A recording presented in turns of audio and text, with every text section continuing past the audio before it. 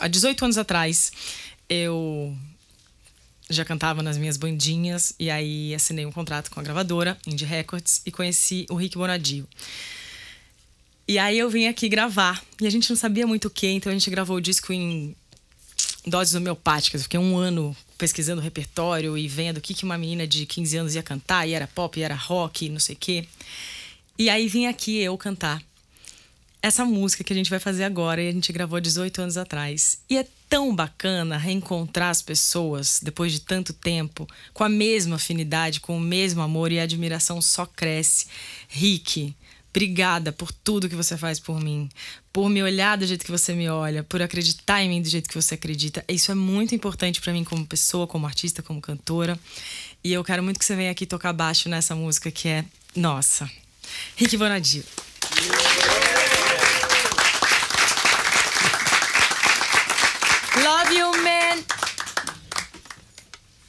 Caramba.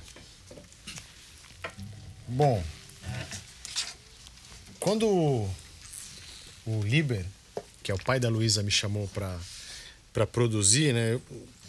primeiro, assim, eu fiquei bastante lisonjeado, né? Que eu falei, caramba, é uma, o cara é o dono da gravadora. Tá me chamando pra produzir a filha dele, eu devo ser mais ou menos, né? Eu devo estar bem aí na fita, né?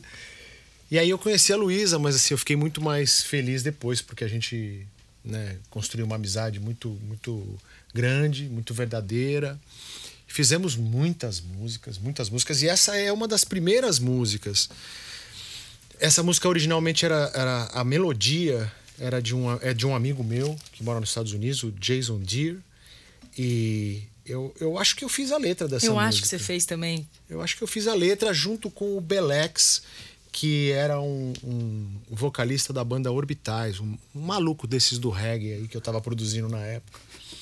Mas é assim, eu lembro com muito carinho dessa música, eu vejo sempre, eu, eu ouço sempre lá no Spotify, eu fui, fui escutar a música de novo pra tirar o baixo aqui, né?